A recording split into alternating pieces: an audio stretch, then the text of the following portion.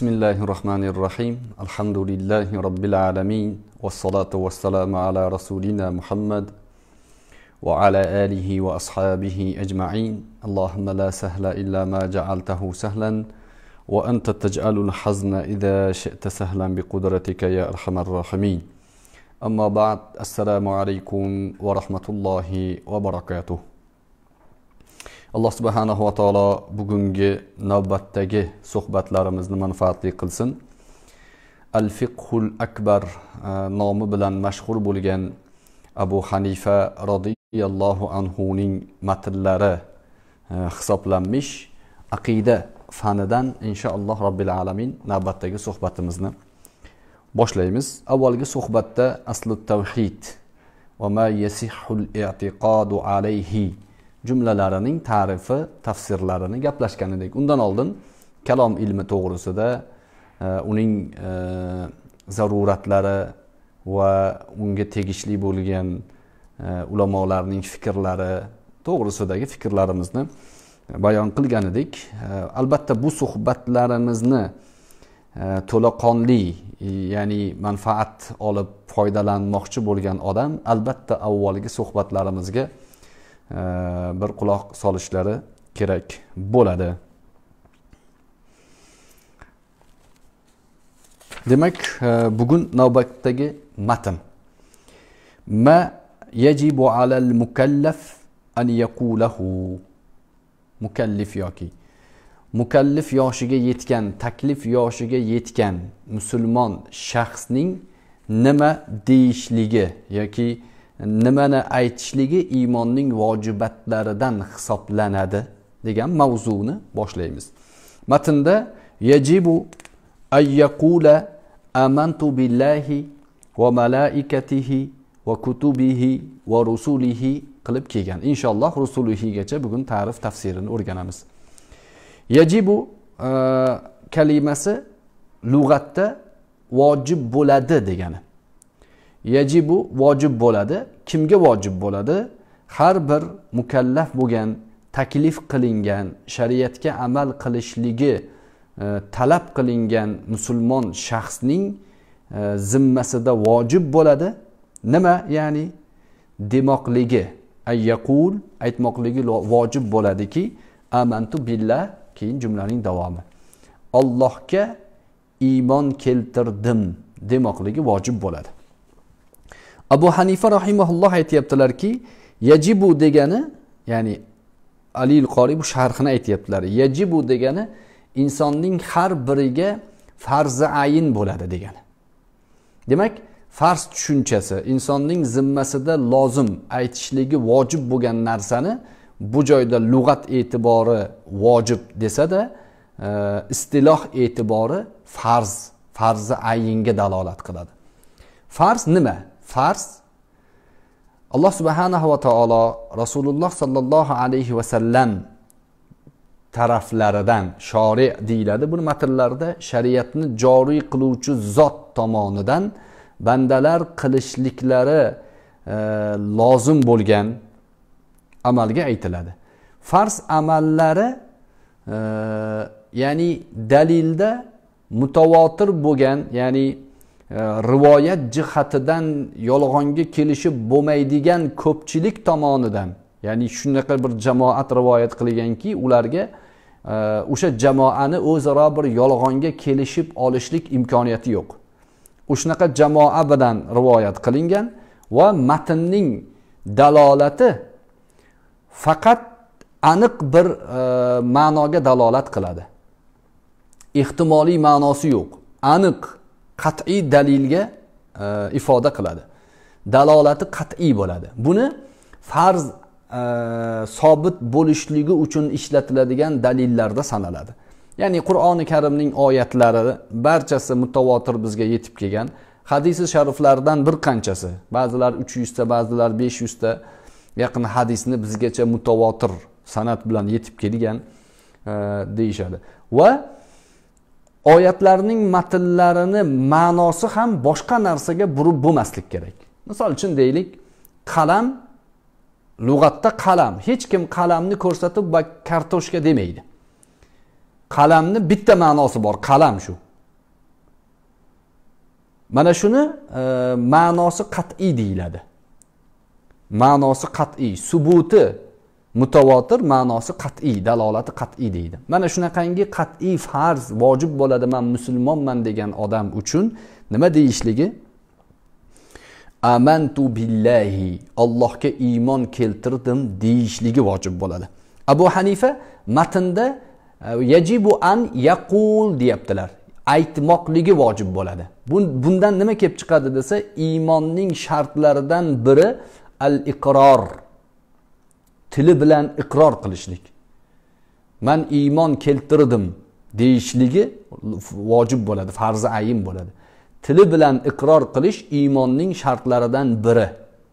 Abu hanifaning e'tiqod borasidagi fikrlari ya'ni matnga suyanib dalillardan olib bizga aytgan gaplari iymonning birinchi sharti til bilan iqror qilish. O'shaning uchun yajibu ay yaqul deyaptilar. Va yana ulamolar aytadiki o'sha tili bilan aytayotgan narsasi qalbi bilan tasdiq qilinishi kerak. Bu ham iymonni sharti. Iymonning sharti e, jamiyatda yashayotgan musulmonlarga munosabat muomala qilishlikda til bilan la ilaha illalloh deyishligi uni musulmon ekanligini bizga e, ya'ni bildiradi dalolat qiladi.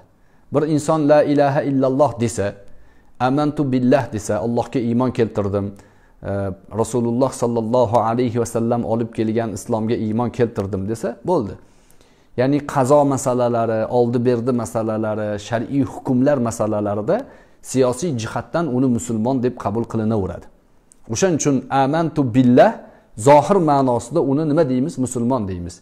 Va shu tilidagi amantu billah qalbida tasdiq qilinishligi bu diyonatan deyiladi. Bir insonning haqiqiy ma'noda musulmon ekanligi qalbi bilan tilini tasdiqi bilan bo'ladi. Chunki har bitta amantu billah degan odam har bitta muhammad rasululloh degan odam qalbi o'sha aytayotgan gapiga muvofiq bo'lmasa musulmon bo'lavermaydi.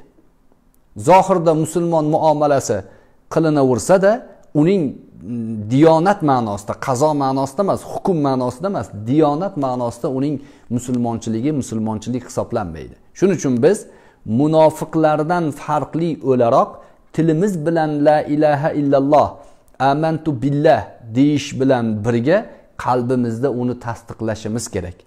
Qalbda tasdiqlashlik ilmi yaqin bilan bo'lishi kerak. Meni ota onam musulmon bo'lgan man ham musulmonman desa bu taqlidiy musulmon bo'ladi. Tasdiqiy emas. Taqlidiy musulmon siyosiy jihatdan qazo hukm masalasida islom shariatida ahli sunnaning nazdida musulmon sanalsada lekin uning shaxsga o'zi nisbatan iymoni shubhali bo'lib qoladi. Xatarli bo'lib qoladi. Chunki falonchi musulmon edi man ham musulmonman degan odamning iymonida tasdiq yo'q. Taqlid bor. Palonchi musulmon ekan man ham musulmonman. Otam musulmon edi man musulmonman. Bu o'zbeklar hammasi musulmon shuning uchun musulmonman deyish iymonni kamolatiga dalolat qilmaydi.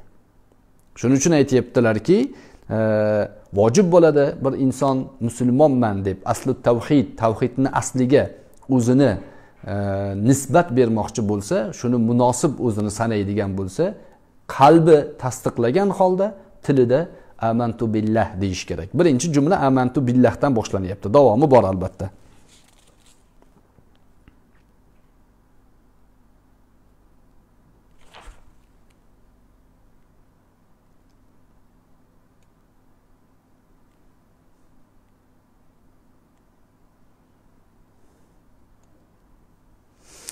Mana shu jumlaga ya'ni til bilan iqror qilish qalb bilan tasdiq qilish iymonning asli ekanligiga iymonning asli ekanligiga. Imom maturidiy ham e, aytganlar deb e, sharhda aytyaptilar. Vahuva al asah indal ash'ariy ashariy mazhabida ya'ni aqidaning ikkita katta mazhabining peshvolarini aytyaptilar. Abu hanifaning matnlarini sharhlar ekanlar. Bu matndagi amantu billah til bilan aytish qalb bilan tasdiq qilish iymonning asli ekanligiga imom maturidiy mazhablari qaror qilgan. Ashariylarda sahih qovul shu. Ashariylarda amantu billahni o'zini amantu billahni o'zini iymon sanash qalbdagi tasdiq e, unga qo'shilmasligi to'g'risida ba'zi rivoyatlar borligi lekin ular zaif qovulligi u qovullar e, e'timod qilinmasligi ashariy mazhabida ya'ni aqidadagi ashariy mazhabida sahih qovul amantu billah qalb til bilan aytib qalb bilan iqror qilishlikka bog'liq ekanligini aytyaptilar.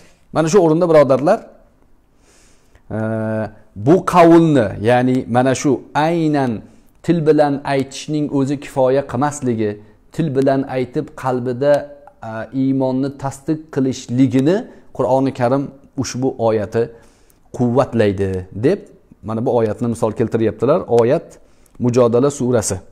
Audu billahi minash shaytonir rojim ulaika kataba fi qulubihimul iymon alloh taolo iymon ahllarini zikr qilganda ular qalblariga iymon kitobat qilingan muhrlangan qalblariga yozilgan zotlar deb maqtayapti alloh taolo. Qalbidagi iymonini alloh taolo iymon deb atayapti deb bu gapni imom abu hanifaning e, fiqhul akbardagi matnlariga va e, ashariy va maturidiylarning mazhablarini bu boradagi fikrlariga quvvatli dalil sifatida keltiryaptilar.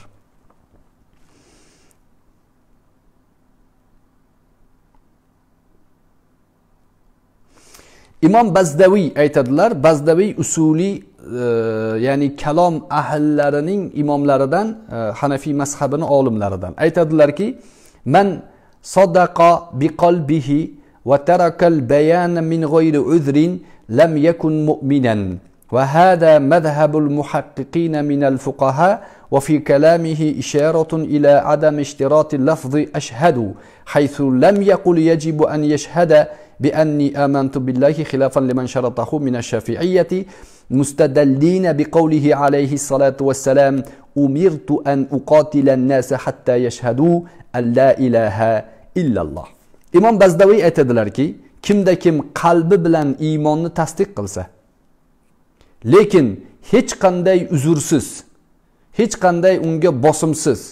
Tili bilan iymonni iqror qilish aytishlikni tark qilsa u lam yakun mo'minan mo'min hisoblanmaydi. Qalbida tasdiqlab turibdi. Lekin tili bilan ayt deyilsa qazo masalalarida musulmonmisan desa tili bilan iqror qilmayapti. Qalbida iymoni bor tilida iqrori yo'q. Buni imom bazdaviy hanafiy mazhabining aqida masalasi. Imom maturidiy ashariylarning aqida masalasidagi asos sifatida keltiryaptilar. Mo'min hisoblanmaydi. Til bilan iqror qalb bilan tasdiqqa bog'liq bo'lsa iymon hisoblanadi. Shu joyda e, davomini hali tarjima qilmasdan ba'zi mulohazalarni aytishimiz kerak. Zamonamizga e, muvofiq bo'lgan bo'layotgan ba'zi mujodala mubohasalarga javob o'laroq. Bugun imom ashariy va imom maturidiy rohimahumallohlarning ahli sunnadan mas deyayotgan ba'zi odamlar imom maturidiy va imom ashariylarning ayni o'zlarini ilmiy faoliyatlaridan bebahra odamlar. Ular imom ashariy va imom maturidiylarning aqida borasidagi matnlari va ular ro'baro kelgan o'z davrlarida ahli sunnaga qarshi mo'tazilalar jahmiylar jabriylar bir qancha adashgan toifalarga qarshi mujodalalarini to'g'ri ma'noda o'zlashtirmaganligi uchun kimdandir ko'chirib olib to'g'rirog'i bugungi kunning salafiy tushunchalarini qo'llab quvvatlash uchun maturidiy va ashariy mazhabiga hujum uyushtirayotgan odamlarning ko'rsatmasiga ko'r ko'rona ergashgani uchun imom maturidiy va ashariylarni ahli sunna emas deyapti. Bular mutlaqo ilmiy asosga suyanmagan gaplar. Hatto ba'zilarini biz aytdik. Nima deyishdi? Ba'zilari bizga e, ayt yozdi gapirdi. Imom maturidiyning aqidasi abu hanifing aqidasiga zid deyishdi. Mana bu joyda tasdiq qilib turibdilar. Imom maturidiyning aqidalari imom ashariyning aqidalari ah, ya'ni shofiiylardan imom ashariy hanafiylardan imom maturidiyning aqidalari ahli sunna val jamoaning aqidasining musahhihlari hisoblanadi bular. O'z davriga kelganda atrof chekkadagi turli xil fikriy xurujlarga qarshi eng kuchli mujodalani bergan zotlar bular. Bularni ahli sunna emas deyishlik uchun juda katta e, jasorat kerak. Bu jasorat e, ya'ni ilmiy asosga suyanmagan jasorat johilona jasorat. Bu tayyorgarlik qilmasdan polvonning e, huzuriga borib san bilan urushaman deyishganga degan gapga o'xshaydi. Bu masalada yana ba'zi narsalarni biz e, o'rnida aytib ketishimiz kerak. Muhaqqiq fuqaholarning nazdida ham mana shu gap gap deyaptilar. Endi iymon iqrorun bil lisan va i'tiqodun bil janan va amalun bil arkan va yazidu bit toati va yanqusu bil isyan kalimalari ham jumhurning nazdida iymonning shartlaridan sanaladi ya'ni iymondan sanaladi jumhurning nazdida va buni ulamolar birlashtirishadi. Abu hanifa aytadilarki iymon iqrorin bil lisan va i'tiqodun bil janan deydilar. Iymon bu. Iymon shu. Jumhur aytadiki shofiiylar molikiylar hambaliylar e, va zohiriylar va boshqa bir qancha e, bu ma'noda e, bu fikrni qo'llab quvvatlovchilar aytadiki iqrorin bil lisan til bilan iqror bo'lish qalbda e'tiqod qilish va u taqozo qilgan amalni qilish va iymonni ziyoda va nuqsonini qabul qilish. Bu iymonni e, asoslaridan deyishadi. Buni jamlagan fuqarolar aytadiki ulamolar ikkala fikrni nimasi bir biriga zid desa yo'q bir biriga zid emas bular. Hanafiy e, mazhab mushtahidlari ulamolari aytgan narsa jahannamdan qutqaradigan iymonning tarifi deyishadi. Eng kamida shu iymon shu. Iqrorim bil lisan vatiqodim biljanan bu iymonning eng oxirgi nuqtasi shu. Bundan buyog'ida iymon qolmaydi. Degani yuqoridagi beshta narsani uchta amalim bil arkanni ham iymonga qo'shishlik e, bu bu bo'lsa iymonning kamolotiga dalolat qiladi. Mukammal iymon. U mutlaq jannatga kirishligi bashorat berilgan iymon bu. Mana bu iymon bu e, kufrga o'tib ketmagan iymon. Bularni jamlasa bo'ladimi? Jamlasa bo'ladi albatta. Lekin bu ulamolar bir birlarini ahli sunnadan chiqib ketishlik bilan ittihom qilishmagan. Ya'ni ba'zi mufradotlar ba'zi shaxslar tomonidan e, gap gapirilsada ahli sunna val jamoa abu hanifani e'tiqodda e'tiqodda bil ittifoq ahli sunnaning mushtahidlaridan deydi.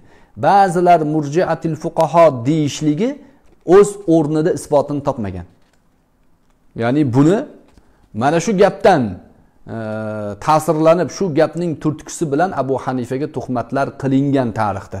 Va buni o'z zamonasining ulamolari bugunga qadar e, raddiyasini berib kelishgan. Abu hanifani e'tiqod borasida ahli sunna val jamoaning mushtahidlaridan ekanliklarida ya'ni tortishuv yo'q. Tortishmoqchi bo'lganlar qadimda bo'lgan va ro'baro kelgan paytida qo'lini ko'targan. Demak bu mavzuni nima uchun e, biroz ochishga harakat qilyapmiz? Chunki bugun bor maydonda. Bugun hozir abu hanifani adashgan deyayotganlar bor hozir. Abu hanifaga hadis yetib bormagan deyayotgan odamlar bor. O'zini tahorati shubhali odamlar tahoratni bilmaydigan odamlar. Paypog'iga mahs tortib yurgan odamlar. Abu hanifaga hadis yetib bormaganlik davosini qilayotgan odamlar. Shuning uchun biz bu gaplarni ochib ketishimiz kerak. Imom maturidiyning aqidasi abu hanifaning aqidasiga zid degan davo bilan chiqishdi. Ba'zi odamlar chiqyapti yusuf davron deganini ko'rsatishdi bizga. U nima dedi? Imom maturidiyning aqidasi imom buxoriyning aqidasiga zid. Oradagi farqlar deb u farqlarni sanasa biroz ilmdan xabari bor odam bularning o'rtasida farq u yusuf davronning kallasida shakllangan farq u. Yoki u tarjima qilib berayotgan odamlardan e, olib ko'rsatayotgan u odamlarda ularning tushunchasida unaqa farq bor. Lekin imom buxoriyning jumhur safiga kiritiladi. Ya'ni u kishi e, amalun bil arkanni iymondan sanaydilar. Iymonning rukni hisoblanmaydi. Iymondan sanalishligi agar bir kishi amalni tark qilsa kofir bo'lmaydi. Buni imom buxoriy ham aytadilar o'zi aslida. Amalni tark qilsa yoki amal bilan kufrga tushadi deyishlik bu havorijlarning aqidasi. Bir odam namoz o'qimasa kofir bo'ladi desa nimaga kofir bo'ladi? Desa namoz o'qimaslik insonni kofir qiladi. Degan gap nimaga suyangan desa nabiy sollallohu alayhi vasallamning hadislariga suyangan. Kim namozni tark qilsa kufr bilan iymonning o'rtasidagi farq namozni tark qilish deganlar deydi. Endi mana shu o'rinda yuqorida aytdik yaqiniy mutavotir farz vojib bo'lishligidagi dalil talab qilinadi mutavotir bo'lishi kerak. Bu hadis ohod ohod hadis insonni kofir bo'lishligiga yetmaydi. Masalan mm, kim bir mo'minga qurol ko'tarsa mo'minni so'kishlik fisq unga qurol ko'tarib uni o'ldirishlik kufr degan hadis bor. Xuddi shunga o'xshagan sahih hadis bu ham. Bu hadis bir mo'minni o'ldirsa kofir bo'ladimi degan savolni jumhur ahli sunna val jamoa aytadiki kofir bo'lmaydi. Agar o'sha mo'minni iymonini e, yoqtirmasdan uning iymoniga qarshi chiqaroq o'ldirsa kofir bo'ladi. Lekin o'rtada ba'zi bir siyosiy tortishuvlar bilan bir biriga qurol ko'tarsa mo'min kofir bo'lmaydi. Bunga dalil qur'oni karimda oyat turibdi. أعوذ billahi minash shaytonir الرجيم va in toifatan minal mu'minina فأصلحوا بينهما baynahuma. Agar ikki toifa mo'minlardan bo'lgan ikki toifa bir birlariga qurol ko'tarsalar bir birlari bilan jangga kirishib ketsalar fa aslihu baynahuma deyapti alloh taolo. Bu oyatda bir biriga qurol ko'targan ikki toifani ollohni o'zi minal mu'minina deb nomlayapti mo'minlar deb nomlayapti. Hadis sharifda qurol ko'tarsa kofir bo'ladi degan hadis bir insonni amalni tark qilsa kofir bo'lishligiga dalolat qilmasligining dalili bu. Demak u dalil ohat bo'lishligi e'tibori bor. Kuchi yetmaydi bir insonni dindan chiqarib yuborishlik e, dalilligiga. Illo tavil qilish mumkin. Qur'oni karim mo'min deb turibdi. Bu hadis nimaga dalolat qilishi mumkin? Agar sahih rivoyat bo'lsa desa ulamolar aytadiki iymoniga qarshi urush qilsa. Kofir bo'ladi. Mana shu o'rinda yana ba'zi narsalarni aytish kerak. Bir odamni shaxsiyatiga nisbatan haqorat qilsa fisq bo'ladi. Avval aytdik xuddi onasiga nikohlangan gunoh kabi gunoh qilgan bo'ladi undan yuqori gunoh qilgan bo'ladi. Lekin bir insondagi ilmni yomon ko'rsa kofir bo'ladi. Iymonini yomon ko'rsa kofir bo'ladi. Bu tortishilmaydigan narsa. Demak bu joyda e, abu hanifaning va imom maturidiyning aqida borasidagi ehtiyotkorliklari kuchli hisoblanadi. Bu ulamolarimizni tarjihi biz hanafiy mazhabimiz aqidada moturidiy aqidasidagi kishilarmiz. Bu ma'noda iymonning asli nimadan iborat desa til bilan iqror qilish qalb bilan tasdiq qilishlik deyishimiz kerak. Mana shu bizni yuqoridagi ehtimollarni jamlaganda eng ehtiyotkor shart hisoblanadi.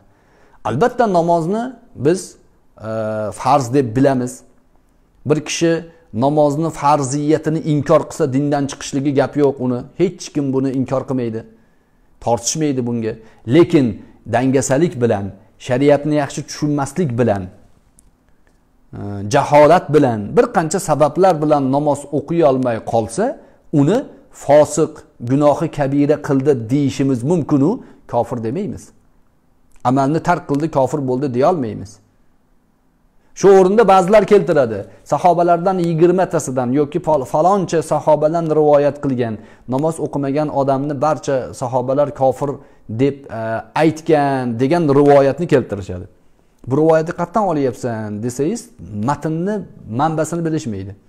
Bu rivoyat ibn hazmning rivoyati. Ibn hazmning e'tiqodi tushunchalari u kishi. U kishi zohiriylardan alloh rahmat qilsin hanafiy ya'ni ahli sunnaning farqlaridan hisoblanadi u kishi. Lekin bu ishtihod u kishining ishtihodi. Xuddi ato ibn abi rabohning roziyallohu anhu tobiiylardan. Man e, ikki yuzga yaqin yoki falonga yaqin sahobalarning ominni jahriy aytishlik to'g'risidagi gaplarini rivoyatini keltirgan imom buxoriy. Lekin hanafiylar buni olmaydi. Nimaga? Atoning fikri deyishadi. Atoning ishtihodi bu. Sahobalarning ishtihodi emas atoning ishtihodi. Ato roziyallohu anhuga shu xabar yetib kelgan. Lekin bundan ko'ra kuchliroq xabar bor manda degan abu hanifa. Qur'oni karim udu robbakum tadarrua va xufiya dedi. Robbingizga tazarru va maxfiy holda duo qiling dedi. Omin duomi demak maxfiy holda duo qilishlik afzal dedi va bir qancha sahih rivoyatlarni keltirib duoning maxfiysi afzalligini keltirdi.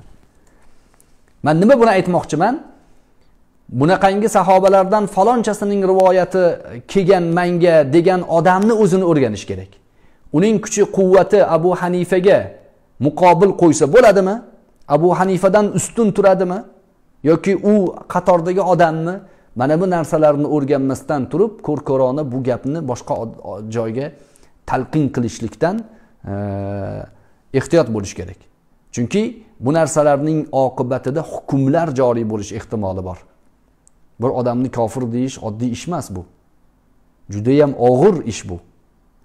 Bir odamni kofir deyish uni jahannamga hukm qilish bilan dunyoda uni musulmon bo'lib kofir bo'ldi deyilsa joni molini halol sanash davosi bor bu joyda bu narsalarning oqibatlari yaxshilikka olib kelmasligi uchun ulamolar aytadiki bu mahkama masalalari va bunga o'xshagan masalalarda mushtahidlarning o'rtasidagi ixtiloflarni to'g'ri yechimini bilmagan odam kirmasligi kerak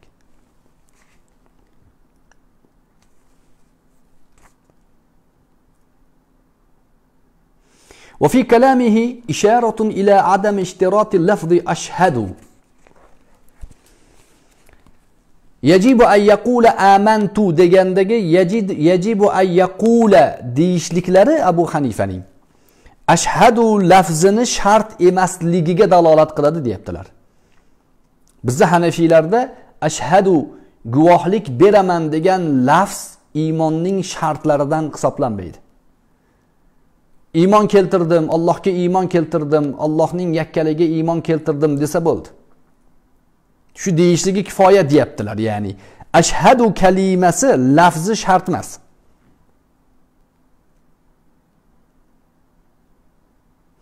Lekin mana bu shartni imom shofiiyning mazhabi ulamolari qo'yishgan. Nimaga bu gapni e, keltiryaptilar? Chunki shofiiy mazhabi ulamolarining ishtihodida ishtihodida ashhadu kalimasi iymonning shartlariga asos qilib qo'yilgan. Imom shofiiy rahimaulloh bu gaplari uchun nabiy sollallohu alayhi vasallamning ushbu hadislarini rivoyatda keltirganlar kanzul ummolda keltirgan ekanlar yig'ib bu hadis mashhur hadislardan. Nabiy sollallohu alayhi vasallam aytdilarki umirtu an uqotilan nasa hatta yashhadu alla ilaha illalloh. Odamlar la ilaha illalloh kalimasiga guvohlik bermaguncha hatto yashhadu hadisda. Ularga bilan ularga qarshi jihod qilish urush qilishlikka buyurildim degan hadis. Mana bu hadisni imom shofiy e, dalil qilib ashhadu shahodat beraman degan gap lafz iymonning shartlarida e, ya'ni iqrorda shartlardan biri degan ekanlar. Shu bilan birga boshqa bir rivoyati ham bor. Hatta yaqulu la ilaha illalloh. la ilaha illalloh degunlariga qadar ular bilan urushlikka buyurildim dedilar. Bu hadisni birodarlar e, biroz ma'nosini ochishimiz kerak. Hadis sharif imom shofiiyga dalil sifatida o'tyapti. Chunki imom shofiiyning dalil olish usullari abu hanifaning dalil olish usullaridan farq qiladi. Usulda farq qilganligi uchun mazhab ikkiga bo'lingan. Agar usullarda farq bo'lmasa mazhab bo'linmaydi. Masalan abu yusuf ishtihod borasida ilm e, ya'ni qobiliyat diroat rivoyat borasida imom shofiiydan kammaslar lekin ustozga nisbatan usulda xilof qilmaganlar. Usulda ustozning yo'liga mutobiqlar lekin furularda shu'balarda ixtilof qilganlar. Shuning uchun mazhabni ichida mushtahid bo'lib qoladi. Abu yusuf imom muhammadga o'xshagan zotlar. Imom shofiiy usulda abu hanifa bilan e, muxoliflar ya'ni muxolif bu yerda salbiy ma'noda emas. Imom shofiiyning o'zlari usullari ishlab chiqqan usullari bor. Shu asosga ko'ra qur'on sunnatdan dalil oladilar. Hanafiy abu hanifaning o'z usullari bor. Demak imom shofiiy ashhadu kalimasini iymonning sharti deb sanarkanlar. Bizni mazhab ya'ni hanafiy mazhabi e, imom maturidiy mazhabida ashhadu kalimasi shart emas aytsa bo'ldi. Amantu billahi deb aytishligi kifoya. O'shanga yajibu ay yaqula deyaptilar qovul kalimasini. Endi hadisni ma'nosiga kirsak buni bugungi kunda qo'llariga qurol olgan ba'zi birodarlarimiz ya'ni ilmdan shariatdan biroz e, ya'ni yetarli ma'lumot olmasdan qo'llariga qurol olib olgan birodarlarimiz bu masalalarda mana bu hadislarni dalil qilishadi. Nabiy sollallohu alayhi vasallam odamlar la ilaha illalloh demagunlaricha ularga qarshi jang qilishlikka buyurilganlar mana hadis deyishadi. Bu hadisi sharifni e, sharhlari keng juda ham. Bu hadisi sharif e, ba'zi tafsir ya'ni ma'no aytuvchi shurroh shorihlarning qavliga ko'ra makkai mukarramaning haram hududiga tegishli. Madinai munavvaraning haram hududiga tegishli deyishadi. Haram hududida to la ilaha illalloh demagunga qadar odamlarni kiritilmaydi. Hozir ham. Bu hadisga hozir ham amal qilinadi. Hozir ham makkai mukarramaga musulmon bo'lmagan odam qasddan kirmoqchi bo'lsa uni qaytariladi. Yo'q qaytmayman deb yana kiradigan bo'lsa unga hujum uyushtiriladi. Kirgizilmaydi. Islomning markaziga islomga aloqasi bo'lmagan odamni kiritilmaydi. Hadis bitta ma'nosi shu. Hatto e, uqotilu umirtu an uqotilannas deyaptilar. Uqotil kalimasi qotala yuqotilu faala yufoilu vaznida kelgan. Bu bob ikki tomonning o'zaro ishtiroki bo'ladigan ish. Umirta an uqotilan nasa bir kishi sizga qurol ko'tarib kelsa unga qarshi qurolli jang qilsangiz uqotil bo'ladi. Umirtu an yaqtulan nasa emas yoki aqtulan nasa emas man odamlarni la ilaha illalloh deyishmasa o'ldirish uchun keldim demaganlar. buyurildim demayaptilar. Uqotil jang qilish. Uqotil ikki tarafdan bo'lish. Shuning uchun bu makkai mukarrama va madinai munavvaraga tegishli hadis e, ma'nosidan boshqa ma'noga o'tadigan bo'lsak qiyomatga qadar e, islom ummati islom ummati e, o'zining e, islom da'vatlarini yetkazishlikda jihodning talab mavzularidan foydalanishligiga ham dalil bo'ladi bu.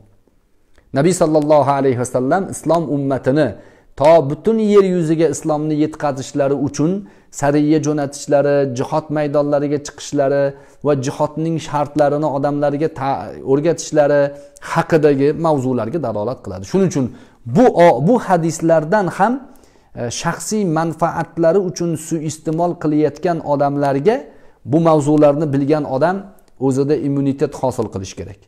Aytgan zahoti shunaqa ekan deb ketavermaslik kerak. Hadislarning javoblari bor.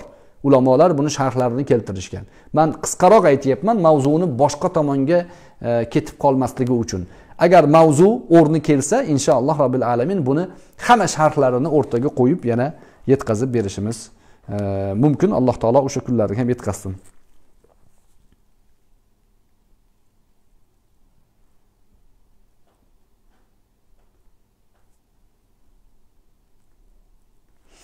Amantu billahning ma'nosi nima?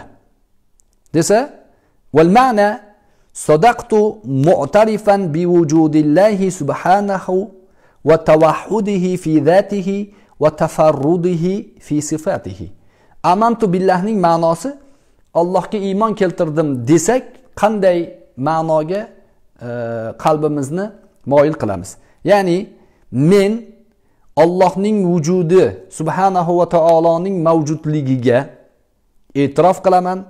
Uning zotida yagona zot ekanligini e'tirof qilaman. Sifatlarida ham uning tengi yo'qligini e'tirof qilaman degani. Amantu billah Allohning mavjudligi uning zoti va sifatlarida yagona e, ya'ni mislsiz zot ekanligiga iymon keltiraman degani. Va malaikatihi yajibu an yaqula amantu billahi va amantu bi malaikatihi allohga iymon keltiramiz va allohga iymon keltirdim va uning farishtalariga iymon keltirdim deb aytishimiz kerak. İymonni shartlaridan biri bu ekan.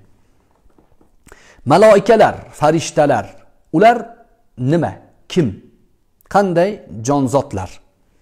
Biannahum ibadun mukramun la yasbiqunahu bil qawli va hum bi amrihi ya'malun va annahum ma'sumuna va la ya'sun va munazzahuna an sifatil dhukuriyati va na'til unuthiyati maloikalar ular Alloh subhanahu va taoloning mukarram bandalaridan biri hisoblanadi. Allohga ibodat qilishadi mukarram ular. Mukromun ya'ni et hurmat qilib qo'yilgan zotlar. La yasbiqunahu bil qawli. Ular e, ya'ni o'zlaridan bir gapda o'tib ketishmaydi. Vahum bi amrihi ya'malun. Allohning amriga amal qilishadi. Bu o'zbekcha bugungi til bilan aytganda ular faqat buyruqni bajarishadi. O'zlaridan o'zlari bir gap jumla tuzmaydi yangi bir ish qilmaydi. Farishtalar vazifa bajaradi. Yana ham sodda qilib aytganda ular robot. Ularda erk huquq yo'q. Ular buyruqni qilishadi. Va ular ma'sumun. Gunohdan pok. Gunoh qilmaydi ular. Chunki buyruqni qilishadi faqat. Ularda ixtiyor yo'q. Gunoh ixtiyor sifati bor jonzotlarga beriladi. Ixtiyori bor va aql ongi bor o'sha ixtiyori bilan gunoh qilishlik imkoniyati bo'lib turib uni qilmasa u odamlarga nisbatan beriladi bu sifat. Lekin e, aqli bor ongi boru ixtiyori yo'q. Faqat buyruq bajaradi. Shuning uchun ular gunoh qilmaydi. Nima uchun buni aytilyapti? Chunki tarixda farishtalarga gunoh nisbatini berganlar bor. Farishtalardan jabroil alayhissalotu vassalomni xiyonatda ayblagan toifalar bor. Shialarning bir qo'li. Shialar jabroil alayhissalotu vassalomni xiyonatda ayblashgan. Vahiyni payg'ambar alayhissalotu vassalomga e, adashtirib olib kelgan. Aslida aliga olib kelish kerak edi degan davoni qilgan. Bu davo botil davo. Buni botilligiga ishora qilyaptilar.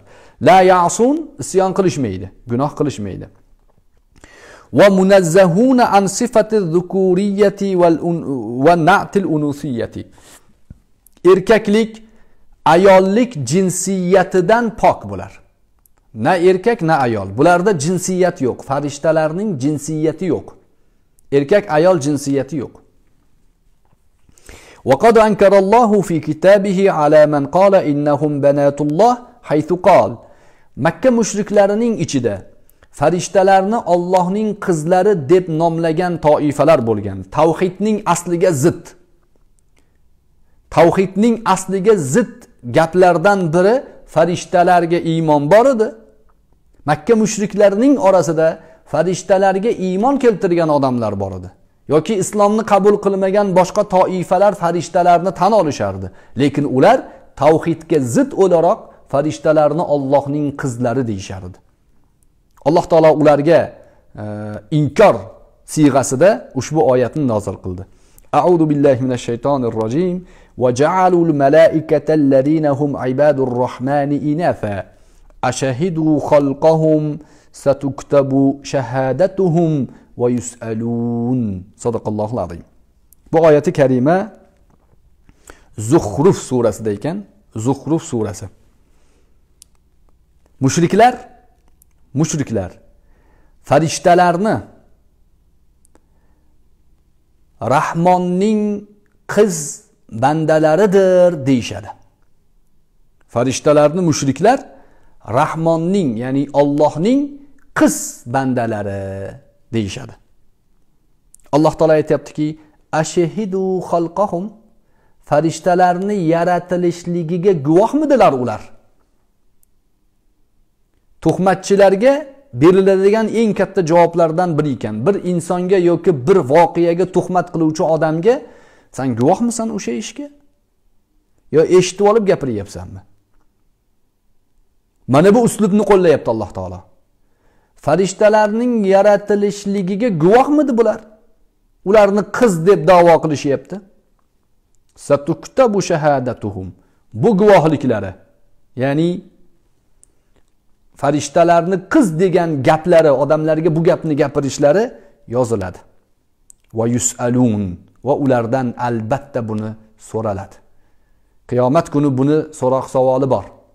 Demak og'ir gaplardan ollohning farishtalarini qiz deyish to'g'ri emas. Erkaklik qizlik jinsiyati farishtalarda yo'q.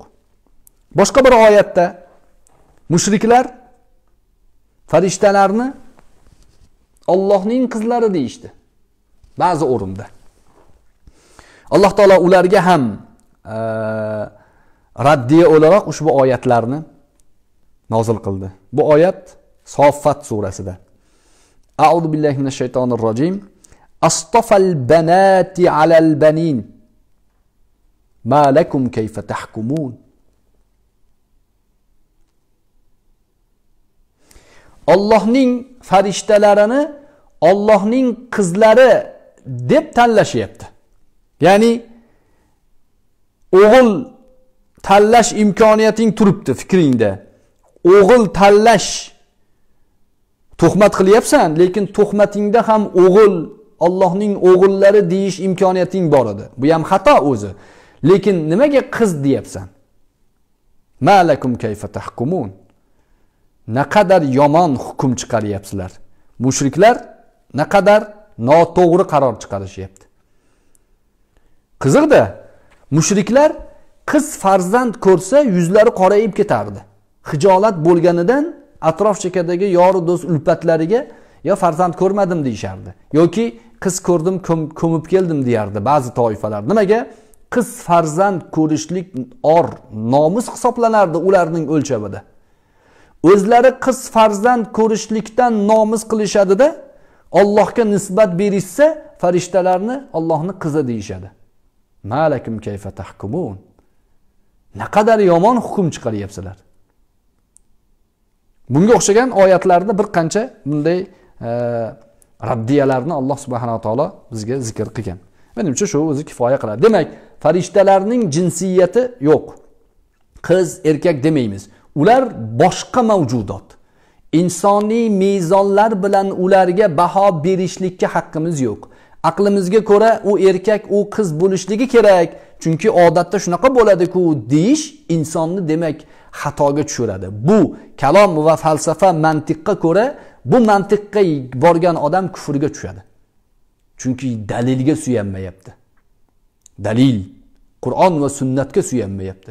Qur'on va sunnat farishtalarning qiz va erkaklik jinsiyatini inkor qiladi. Yo'q ular boshqa maxluqotlar. Ular bizning o'lchovimizdan tashqaridagi maxluqotlar.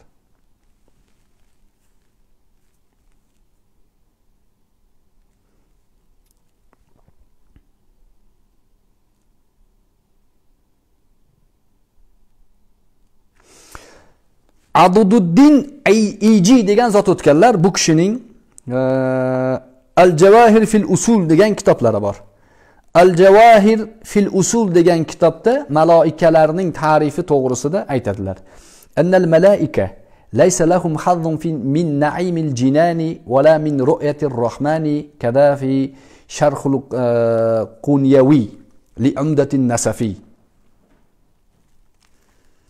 farishtalar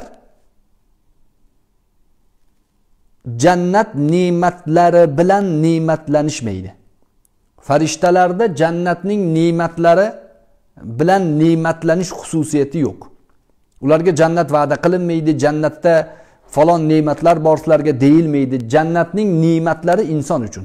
Farishtalar u ne'matga e, yaratilmagan. Va ular rohman subhanahu va taoloni ko'rishlik ne'matidan ham mahrumlar farishtalar ollohni ko'rolmaydi ollohni ko'rish muqarrab bandalardan insonga nasib qiladi.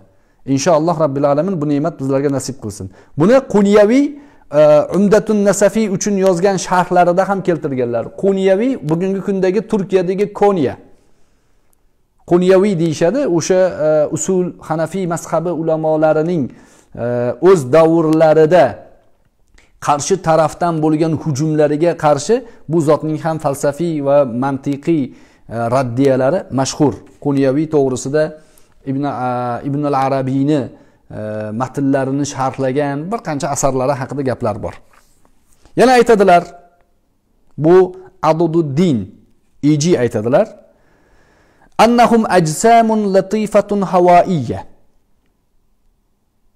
farishtalar havoiy latif jismdan iborat ya'ni u biz ko'rmaymiz uni latif jismdan iborat nuroniy ular va turli xil shakllarga kirish qobiliyatlari bor.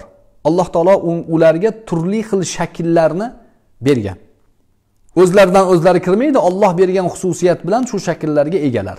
Masalan qur'oni karimda alloh subhanava taolo fotir surasida aytadiki audu billahi shaytonir rojim uli ajnihatin matna va thulatha va ruba. Farishtalarni zikri kelib ular qanot egalari qanotlari bor. Ikkita uchta to'rtta. Shunaqa qanotlari bor. Va oyatning davomida yaxluquma yashasi bor. Ya'ni shunga o'xshagan ma'nolar bor. Alloh taolo xohlaganini yaratadi. Biz bilmaymiz. Bizga shu xabarlar bor farishtalarning qanotlari borlari bor. Ikkita uchta to'rtta qanotliklari bor. Yana biz bilmagan bir qancha farishtalarning sifatlari bor. Maskanuhum as samovat ay maskani mu'zamihim aksar farishtalarning makoni samovat osmonlar. Shu joyda samovat kalimasiga ham biroz urg'u berib ketaylik. Biz osmonni e, arab lug'atida sumu samavat kalimatlari kalimalari bilan bilamiz. Lekin sumu kalimasining asli yuqori ulug'lik ma'nosini beradi. Asli lug'atning asli ma'nosi. Undan keyin majoz o'laroq osmonlar ma'nosini ifoda qiladi demak ikkala ma'no ham farishtalarning makoniga munosib loyiq bo'laveradi farishtalarning aksariyatining makoni osmon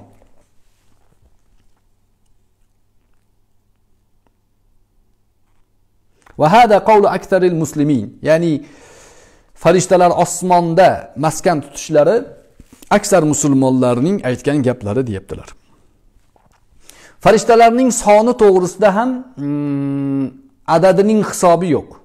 Farishtalar ko'pmi inson ko'pmi desa farishtalar ko'p. Farishtalarning eng kattalari to'rtta. Jabroil alayhissalotu vassalom vahiyga mukallaf bo'lgan e, malakul mavt nomi bilan qur'oni karimda hadis shariflarda hadis shariflarda kelgan malakul mavt bu Hmm, hadisda kelgan asosan e, azroil alayhissalom deyiladi azroil kalimasi e, ba'zilar e'tiroz bildiradi tafsirlarda kelgan to'g'ri hadislarda azroil nomi yo'q lekin o'lim farishtasi. Bu farishta jon oluvchi vazifasini bajaruvchi farishtalarning imomi peshvosi hisoblanadi. E, Mikail alayhissalom bu kishi bu farishta rizq masalalari bo'yicha mukallaf bo'lgan farishta. Isrofil alayhissalotu vassalom bu zot e, qiyomat kunida surni cholishlikka qiyomatning bo'lish jarangini cholishlikka qo'ng'iroq cholishlikka mukallaf bo'lgan farishta. E, farishtalarni boshqa son sanog'ining adadi yo'q. Ba'zi rivoyatlar bor. Shu kabai muazzamaning ro'barosida baytul ma'mur degan joy bor. Ba'zilar bu bu to'g'rida ixtiloflarni aytadi. Sahih rivoyat sahih emas tortishiladigan gap deydi. Lekin e, farishtalarning soni haqida e, zikr ketganda o'sha baytul ma'murni tavof qiladigan farishtalarni zikri keladi. Bu son ma'nosida inson tasavvur qilish uchun keltiryapman buni. Uning rivoyati sahih sahih emasligi mavzuga kirishmaymiz. Sonini e, adadini tushunish uchun. Borliq mavjudotlar yaralgandan boshlab to qiyomatga qadar baytul ma'murni bir marta tavof qilgan farishta ikkinchi marta tavof qilishlikka ulgurmaydi. Shu darajada ko'p. Shunday farishtalar bor yaralgandan boshlab to qiyomatga qadar faqat sajdada turadi. Shunday farishtalar bor yaralgandan boshlab to qiyomatga qadar rukuda. To qiyomatga qadar qa'dada faqat shuning uchun yaratilgan. Farishtalar bor. Bu farishtalarning vazifasi shu. Bularni nima uchun biz bilishimiz kerak? Nima uchun farishtalarga iymon keltirishimiz kerak? Bularning natijalarini ham inshaalloh suhbatni davomida qisqa qisqa aytib o'tamiz. Va kutubihi kitoblarga iymon.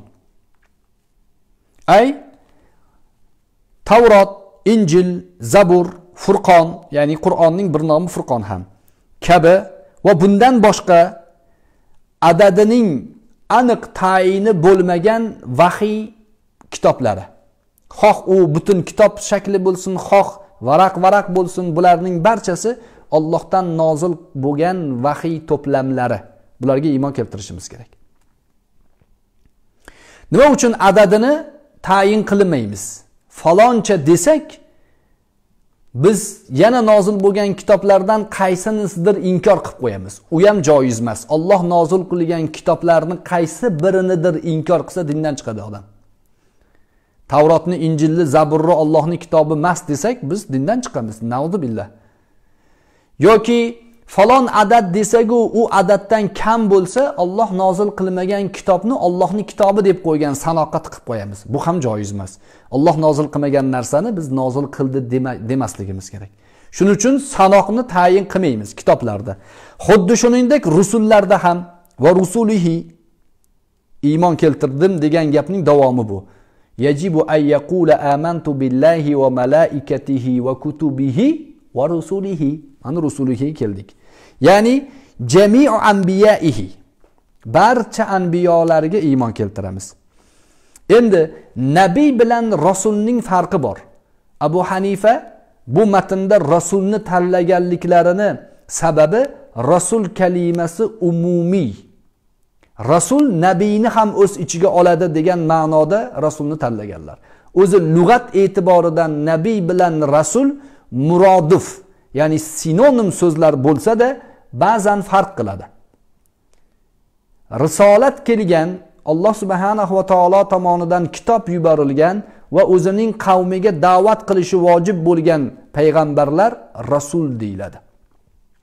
Risolat kelmagan faqat o'zi uchungina hidoyat yo'nalishini ta'limotini olgan payg'ambarlar vahiy olgan payg'ambarlar nabiy deyiladi.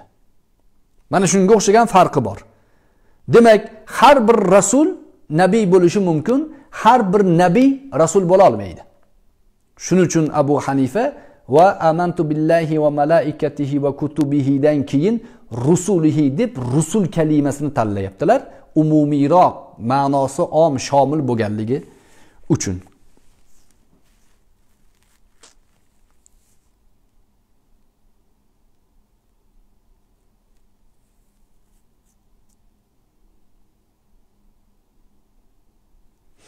Rasullarning ham adatlari to'g'risida qat'iy bir narsani gapirmaymiz. Hadis shariflarda uch yuz oltmishta rasul bir yuz yigirma to'rt ming payg'ambar nabiy va rasul bilan qo'shganda ikki yuz yigirma to'rt ming degan rivoyatlar ham bor. Rivoyatlarning soni turli bo'lganligi uchun ularning ko'pligi to'g'risida ma'noni ifoda qiladi deymiz. Aniq bir adatni aytmaymiz. Nimaga? Aniq bir adatni aytsak agar adat biz E, to'g'ri topolmay qolib kam aytib qo'ysak Alloh yuborgan rasullardan qaysi birinidir inkor qilib qo'ygan bo'lamiz. Bu sanoqqa qo'shmagan bo'lib qolamiz. Agar ko'p aytib yuborsak, Alloh yubormagan rasul sonini biz yuborgan degan da'voni qilib qo'yamiz. Shuning uchun bu xatardan qutulish uchun Alloh o'zi biladi, qancha payg'ambar jo'natgan, qancha rasul jo'natgan. Hadis shariflarda shu shu shu sanoqlar kelgan. Bu qat'iy sanoqlar emas, ko'plikka dalolat qiladigan sanoq deymiz.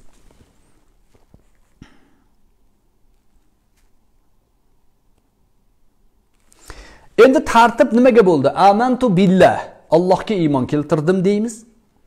Va malaikatihi. Allohning farishtalariga iymon keltirdim deyapmiz. Va kutubihi. Allohning kitoblariga iymon keltirdim deyapmiz. Va rusulihi. Rasullariga iymon keltirdim deyapmiz. Bu tartib nimaga asos qurilgan? desa, vahiyning bandalariga yetib kelish tartibiga asosan qurilgan. afzaliyat ma'nosiga qurilmagan masalan e, farishtalar Allohning kitoblaridan afzal shuning uchun farishtalar birinchi zikr qilingan desa xato bo'ladi Allohning kitobi Allohning vahiylari farishtalardan afzal bu sanoq tartib ma'nosida sanoq sifatida keltirildi afzaliyat ma'nosida emas shuni alohida ta'kidlaydi ulamolar Allohning kalomi Allohning farishtalaridan ustun turadi. Chunki kalom Allohning sifati. Allohning sifati farishtalardan afzal hisoblanadi. Bu tartib demak yuqorida aytganimizdek Allohdan farishtalar vahiyni oladi va uni kitob holatda Rasululloh rasullarga yetkazadi. Mana shuni o'zini tartibi jihatidan sanab keltirilyapti.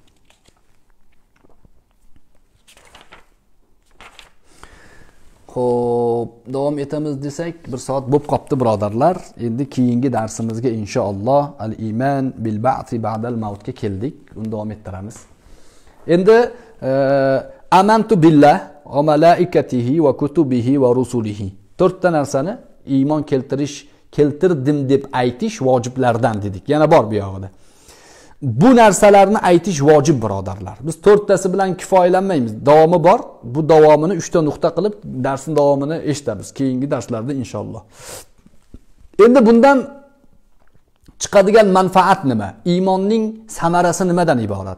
Allohga iymon keltirish insonni dunyoda faqat va faqat allohga qul bo'lishlik izzatiga erishtiradi. Allohga iymon keltirgan odam Allohgagina qul bo'lishlik sharafi bilan mukofotlanadi.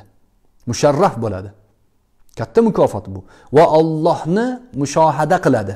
Qiyomat kunida hisob kitob berishi lozim bo'lgan zotni doim mushohada qiladi. U qalbiga nazorat o'rnatadi.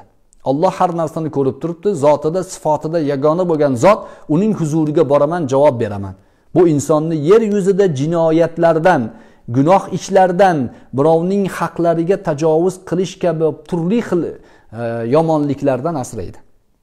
Maloikalarga iymon keltirish inson ibodat qilar ekan qullik vazifasini bajaradi. Faxr emas bu man ibodat qilyapman qotirib qo'ydim emas. Chunki ibodat qilib qotirib qo'yadigan odam farishtalardek ibodat qilolmaydi. Ibodat qilishlik maqsad bo'lsa alloh subhanahu va taologa ibodat qiladigan farishtalar turibdi. Tug'il ya'ni yaratilgandan to qiyomatga qadar umuman boshini sajdadan ko'tarmaydigan farishtalar bor. Alloh taolo bizni ibodatimizga muhtoj emas. Farishtalar bir ma'noda bizga bu o'rnak bu ma'noda. Biz ollohni buyrug'ini qilishimiz kerak. Undan tashqari insonni ikkita yelkasida farishta bor. Har bir insonga ya'ni mukallaf qilingan topshirilgan farishtalar bor. Bularni bilgan odam e, gap so'zi oldi berdisi e, turdi o'tirdisida misol uchun hayoliy bo'ladi. Farishtalar qo'shnisi buni doim buni kuzatib turibdi. Bu insonni iymoniga manfaat beradi. Kitoblarga iymon. Islom tarixi har doim kitob bilan bog'liq. Kitoblarga iymon keltirish musulmon insonning fazilatlari iymoniy farziyatlaridan. Kitobga iymon keltirmasa musulmon bo'lmaydi. Demak bu ummat ilm ummati. Vahiy bilan ta'limot ilmni oladi va bu kitobga amal qilib hayotida ilmga ergashadi. Kitobga ko'ra hayot kechiradi. Kitobni o'ziga e, ya'ni yo'lchi yulduz qilib oladi. Rusul payg'ambarlarga iymon keltirish payg'ambarlar bizlarga g'ayb xabarlaridagi eng to'g'ri xabarni yetkazadigan zotlar. Biz bu masalalarda dovdirab kimningdir fikri kimningdir falsafasi kimningdir mantig'iga qarab qolmaganmiz. Bizni ishonchli ravishda alloh subhanahu va taolodan olgan vahiysi bilan bizga to'g'ri yo'lni ko'rsatadigan payg'ambarimiz bor. Havas qilarlik ergasharlik namuna olish uchun taqlid qilarlik kifoya qiladigan eng yuksak axloq sohibi bo'lgan payg'ambarimiz bor. Payg'ambarlarga iymon keltirishning samaralaridan yana biri shu hisoblanadi. Mavzuni endi cho'zib o'tirmaylik. Bir soat bo'lib qolibdi bugungi suhbatimizni shu joyda yakunlaymiz. Haq subhanahu va taolo aytgan gaplarimizga amal qilib borishligimizga o'zi tavfiq bersin. Sizlarni ham ajratgan vaqtinglarni o'rnini alloh subhanahu va taolo ko'z ko'rib quloq eshitmagan insonning xayoliga kelmagan ulkan ne'matlar bilan jannat ne'matlari ajrlari darajotlari bilan to'ldirsin qilayotgan ishlarimizga o'zi kuch quvvat bu darslarimizni bardavom bo'lishligini o'zi nasib qilsin. Subhanakallohumma va bihamdik. Nashhadu an la ilaha illa anta va nastag'firuk va natubu ilayk. Va axiru da'wana anil hamdulillahi robbil alamin. Assalomu alaykum va حينما رددت يا رب العباد وانتشت روحي